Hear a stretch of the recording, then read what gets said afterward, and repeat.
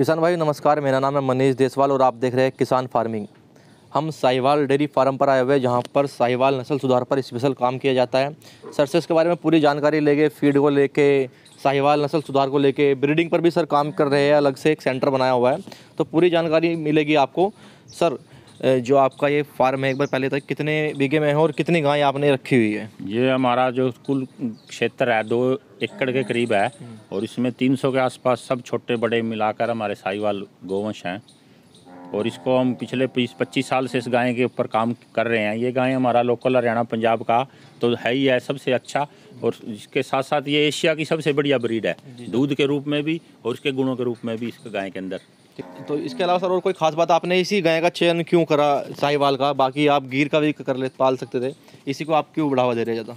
ये गाय जो है, बिल्कुल किसान के लिए उपयोगी है, क्योंकि इसका साइज़ छोटा होने से भी कोई फ़र्क नहीं है। इसका ज़्यादा दूध उत्पादन, इस गाय में मुख्यतः इसका लोकल होना तो है ही है हमारे लिए उपयोगी।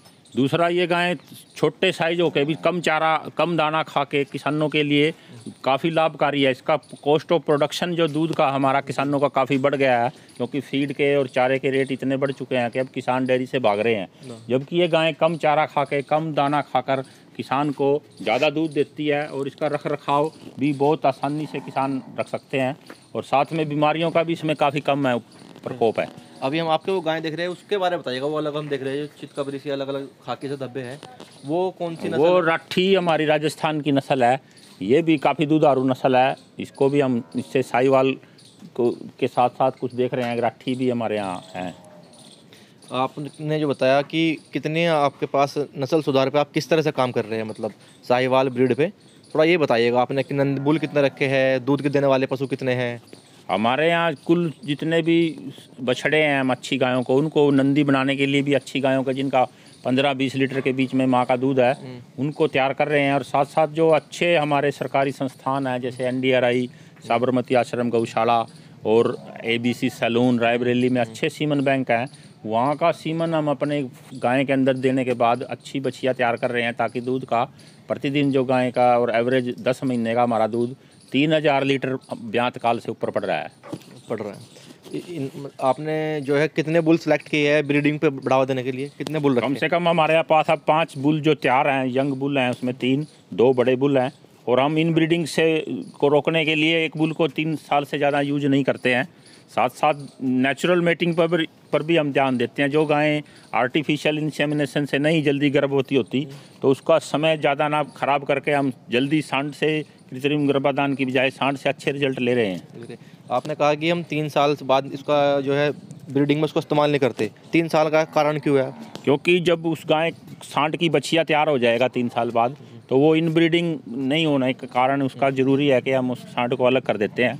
और ताकि अच्छा वो तैयार हो सके। हो सके। आपने जो है कि इसको कई पार्ट में बांटा हुआ है। एक दो तीन अलग अलग पार्ट बांटे हुए फार्मों के। आपने एक जगह भी इनको रख सकते हैं? अलग अलग क्यों कर दिया इनको? जो हाई यील्डिंग आए हैं बीस लीटर वाली हैं उनका थोड़ा खर्चा पानी दाना का अलग हिसाब रख से देना पड़ता है। जो ड्राई एनिमल हैं प्रेगनेंट हैं उनको भी अलग रखना पड़ता है। साथ में जो बछड़ियाँ दूध पीने वाली हैं और प्रेगनेंट हीफर हैं उनका अलग रखना पड़ता है ताकि उनका देख रेख और खर्चा पानी हिसाब से दिया जाए। हिसाब से।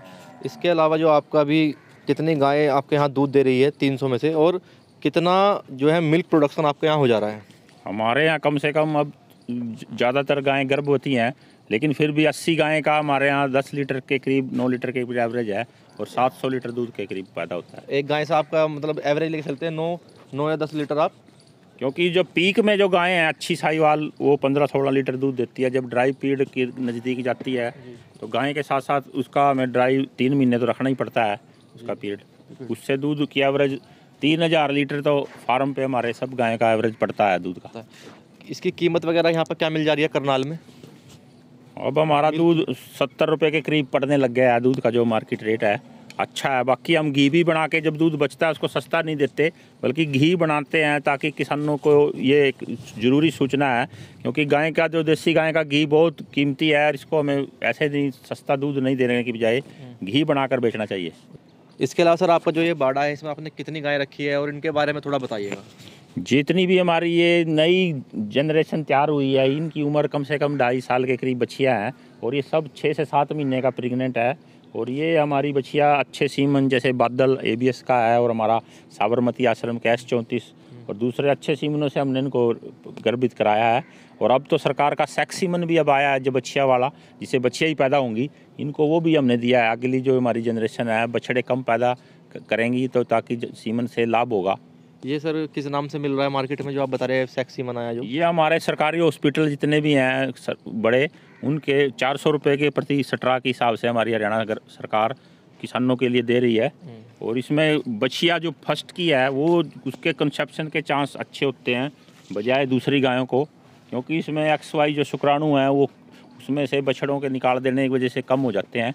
इसका कंसेप्शन रेट अभी थोड़ा हमें कम मिल रहा है लेकिन धीरे धीरे शायद अब वैज्ञानिक उन्नति होने से ये ज़रूरी है कि हम बछड़े कम पैदा करें ताकि किसान भाई बछड़ों को पालने के खर्चे से बच सके और बछिया ही ज़्यादा उनको ज़रूरत है तो बछिया ही पैदा हों।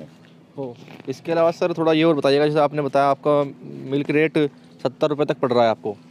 डेयरी फार्म को प्रॉफिट रखने में प्रॉफिट में ले जाने में कितने रुपए तक मिल्क सेल होना ज़रूरी है? सबसे बड़ी तो अगर किसान के पास अपना हरा चारा है और अपना सूखा चारा भी वो सीज़न में इकट्ठा कर ले तो काफ़ी बचत वो अपने कॉस्ट ऑफ़ प्रोडक्शन जो मिल्क पर आती है उसको कम कर सकता है। दूसरा किसान थोड़ा सा मार्केटिंग भी हमें खुद करना पड़ेगा सरकार की बजाय खुद अगर हम लोगों को अच्छा दूध प्रोवाइड करें पीने के लिए लोग अब दूध की क्वालिटी पसंद करते हैं इसलिए कीमत का भी इतना ज़्यादा वो नहीं है। साठ से सत्तर रुपये तक के बीच में हम गायों को अगर दूध देसी गाय का बेच सकें तो ये एक लाभकारी मूल्य है। लाभकारी। पर सर गाँव में मान लिया डेयरी फार्म वो कर रहे हैं उनको तो इतना मिल नहीं पाता हद से पैंतीस चालीस।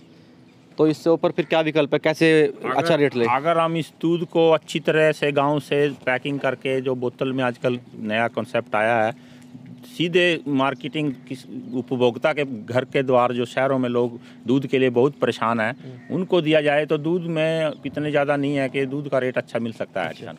इसके बाद आपके पीछे जो नंदी देख रहा हूँ मैं इसके बारे में थोड़ा बताइएगा इसकी क्या खासियत है इसके बच्चों का मिल्क रिकॉर्ड क्या है थोड़ा इस बताइएगा। इसकी जो माँ है हमारे पास सबसे ज़्यादा दूध वाली गाय का ये बछड़ा है और खुद इसका बाप भी साबरमती आश्रम का जो सबसे अच्छा बुल है इसका बाप का भी हमारे पास रिकॉर्ड है। तो इसके दोनों माँ बाप अच्छे हैं और इसकी बच्चियाँ भी प्रेगनेंट बच्चा देने वाली हैं तो प्रेग्नेंट इसके बच्चे आ चुके हैं? जी तो क्या उम्मीद लगा रहे हैं कितने मिल्क रिकॉर्ड तक रहेगा इसके बच्चे? अब बीस के आसपास तो रह गई। रह गई। तो आपने अपने फार्म पे ही तैयार करा है? जी हाँ अपना खुद कोई अच्छी गाय का बछड़ा अच्छा। है। तो इस किसान भाइयों को अगर अपने अच्छे फार्म पर अच्छी नस्ल तैयार करनी हो अपना ही बुल तैयार करना हो मान लिया किधर उधर क्रॉसिंग कराने जाते हैं तो वो कैसे कर सकते हैं? जिस हिसाब से अब हमारे यहाँ किसानों के अंदर ये भावना आई है कि अच्छे नंदी अच्छे चुने जाएँ तो उस हिसाब से ये ज़रूरी है कि हम अच्छी गायें के बछड़े खुद तैयार करें, क्योंकि अगर एक गाय गर्भित ना हो, सारा साल हम उसको खिलाना पड़ता है तो दस गाय में एक नंदी को रखने से कोई ज़्यादा खर्चे का हमें वो नहीं होगा, क्योंकि वो उतना ही रिज़ल्ट दे देगा, सब की सब गायें मुश्किल नहीं होगा कि उनको यही कराने, जाए तो वो प्रेग्नेंट हो जाती हैं। नंदी रखने से ये ज़रूरी है कि हमें हर साल बच्चे पैदा ज़्यादा बच्चे होंगे और जिससे ज़्यादा गायें गर्भवती रहेंगी तो कि नंदी ज़रूरी रखें किसान भाई। सर थोड़ा अब जब फ़ीड मैनेजमेंट के बारे में बताइएगा आप क्या खिलाते हैं और कैसे क्या क्या चीज़ इनको खिलानी चाहिए जो अच्छा दूध दे? मुख्यतः तो हरा चारा बारह मासी हमारे यहाँ मिलता है हमारा पानी हरियाणा पंजाब में बहुत अच्छी ज़मीन है। चारे की हरे चारे की तो कमी नहीं है सूखा चारा मुख्यतः बीस किलो हरा चारा और पाँच किलो भूसा गेहूँ का।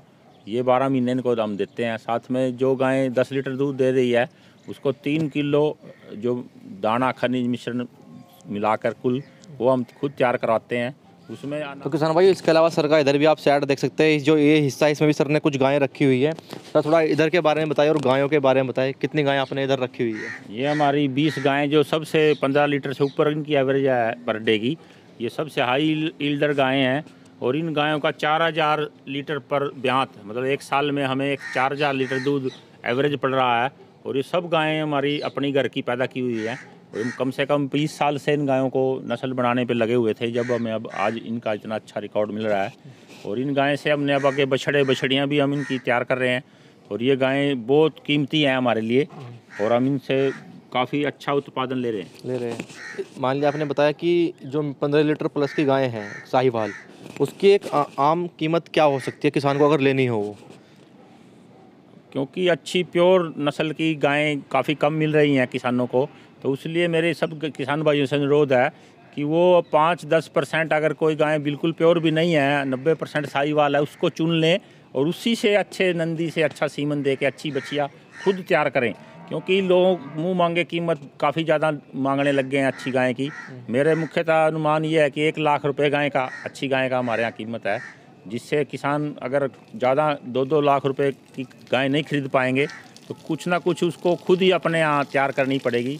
और अच्छे सीमन अब हमें काफ़ी मिल रहे हैं, अच्छे सांड भी मिल रहे हैं, और अच्छे नंदी खुद तैयार करें तो खुद की किसान को कीमत नहीं देने की बजाय खुद की गाय सस्ती पड़ती है। पड़ती है। सर, आपने इधर देखा इधर भूसा भी रखा हुआ है, उधर पराल भी रखी हुई है। तो इस एक आप स्टॉक कर लेते हैं साल के लिए? बिल्कुल, जो सीज़न है वो हम ज़रूरी किसानों को चाहिए कि क्योंकि ऑफ़ सीज़न जब चीज़ें दुगने कीमत पर खरीदते हैं तो डेयरी में मुनाफा नहीं है। हमें किसान भाइयों को कुछ मेहनत करना चाहिए सीज़न के अंदर, क्योंकि भूसा हमारे यहाँ ढाई सौ, तीन सौ रुपये क्विंटल था सीज़न में, और अब वो छः सौ, सात सौ पहुँच चुका है। दूसरा, ऐसे ही धान का, जो बासमती का पुराली है, वो इन गाय के लिए काफ़ी अच्छी हमें एक खुराक है, क्योंकि सूखा पराली का बहुत सस्ता है धान का अवेलेबल बहुत हरियाणा, पंजाब में।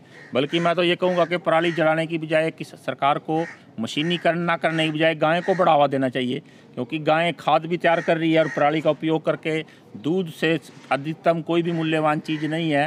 ये पराली खा के अगर दूध हम बनाएँ किसान तो ये ज़रूरी है एक पर्यावरण की समस्या, हमारे पोल्यूशन पराली का पिछले दिनों काफ़ी देखने को मिला है। तो किसानों को पराली इकट्ठी करनी चाहिए और सरकार को बढ़ावा देना चाहिए कि वो किसानों को ऐसी मशीनें दे ताकि वो चारे में गाय को गौशालाएँ किसान यूज़ कर सके पराली। अभी आपने जैसे बताया होगा जितना भी ये फ़ीड है, हरा चारा, भूसा ये सब आप घर से अपनी ज़मीन से ही कर लेते हैं या मंगाते हुए किराए उराए पे थोड़ा? नहीं हमारे पास बीस बाईस एकड़ अपनी घर की ज़मीन के साथ साथ हम पट्टे पे ज़मीन भी लेते हैं चारे पैदा करने के लिए और पड़ोसियों के खेतों से भी हमारे यहाँ चारा अवेलेबल हो जाता है। ऐसा कोई चारे की समस्या नहीं है। सीज़न में बहुत हमें मेहनत कर, तो करना पड़ता है लेकिन वो खर्चा कम हो जाता है। हो जाता है। मतलब तीन सौ जैसे गाय हैं तो इसमें कभी साल में एक सीज़न ऐसा कभी कोई सीज़न ऐसा आता है इसमें हरे चारे की कमी हो जाती है? बिल्कुल हो जाती है हरा चारा। तो उस उन दिनों हम कोशिश करते हैं कि मार्केट से भी खरीदना पड़ सकता है हरा चारा। लेकिन ये पाँच दस किलो हरा चारा भी मिल जाए तो इसको ज़्यादा वो नहीं है। अमेरिकन गाय की तरह इसको तरह इसको ज़्यादा चारा बारह महीने पचास किलो हरा चारा ये नहीं खा पाती। थोड़ा चारा से भी इसका गुजारा हो जाता है। किसी भी तापमान में रख सकते हैं बिल्कुल ये गर्मियों में तो बल्कि ज़्यादा खुश रहती है। ठंड थोड़ी हमारे यहाँ महसूस करती है लेकिन ये अगर शेड पे भी किसान भाई ना खर्चा करें ऐसे पेड़ों के नीचे भी खुले में भी इसको रखना बहुत आसान है। ठीक है सर, मेरा लास्ट सवाल अब आपके फार्म के मैनेजमेंट पे है। आप इन 300 गाय का मैनेजमेंट कैसे करते हैं? कितनी लेबर आपकी संभाल रही है? और थोड़ा इसके मैनेजमेंट के बारे में समझाइएगा। बिल्कुल, ये हमारा संयुक्त परिवार ज्वाइंट परिवार है, सब हम मिलके चार पाँच घर के सदस्य जितने भी हैं, गाय को साथ, पंद्रह हमारे यहाँ नौकर हैं लेबर जो मिलते हैं, वो सब मिलके इसको मैनेज करते हैं। कोशिश करते हैं हम मैनुअली हाथ से काम करने की, क्योंकि ऑटोमेटिक मशीनें पे खर्चा करने के बाद किसान को भारी भरकम लोन के ब्याज देने में गुजर जाती है उम्र। तो आ- खुद अगर हम अपने हाथ से काम करें और खुद नौकरों को भी काम कराने की आदत डालें तो इतना मुश्किल नहीं है हम इसको मैनेज कर पाते हैं। कर पाते हैं। तो किसान भाई उम्मीद है सर ने जो आपको जानकारी दी काफ़ी अच्छी लगी होगी। बाकी पशुपालकों को भी ये वीडियो शेयर करें चैनल को सब्सक्राइब ज़रूर करें।